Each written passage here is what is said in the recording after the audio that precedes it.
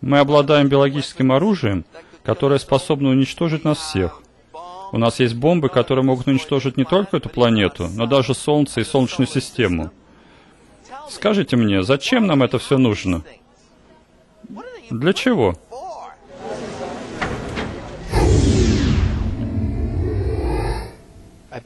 Могу поспорить, вы думаете, что поставил меня в тупик.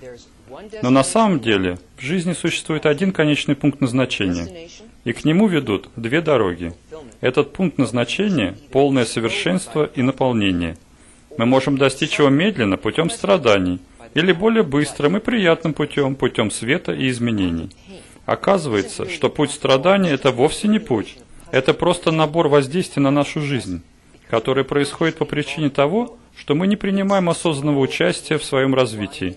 Это медленная, болезненная, мучительная эволюция, которую мы называем историей, и которая непонятно где началась и непонятно куда нас ведет.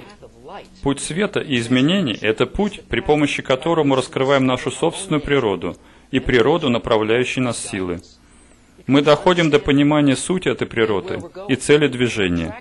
Она манит нас к себе, и мы даже начинаем за ней следовать, а путь страданий только лишь толкает нас сзади в виде физических обстоятельств, которые причиняют нам страдания, достаточные для того, чтобы мы неосознанно произвели внутренние изменения, позволяющие продвигаться вперед. И так как мы очень сильно отличаемся от сил, управляющих развитием, то мы сопротивляемся им и ощущаем это воздействие как болезненное.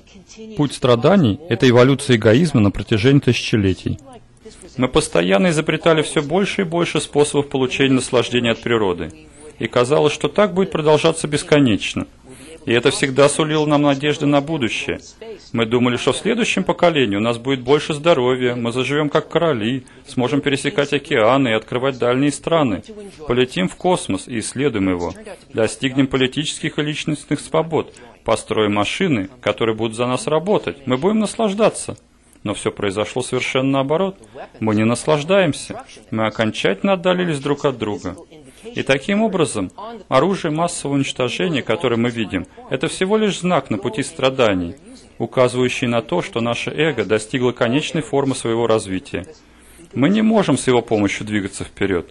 Человечество зашло в тупик во всех областях своих деятельности, потому что эгоизм не способен продвинуть нас дальше и появляется необходимость в чем-то еще.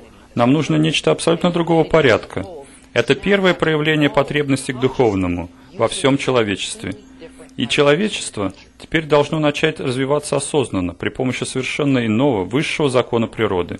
Если мы пойдем путем света, называемым путь Торы, то сможем ощутить эту волну и уже сегодня внутренне начать жить в своем следующем состоянии, по своему собственному выбору. И тогда отпадет необходимость в вынуждающем физическом подталкивании сзади. Давайте вернем их туда, откуда оно пришло.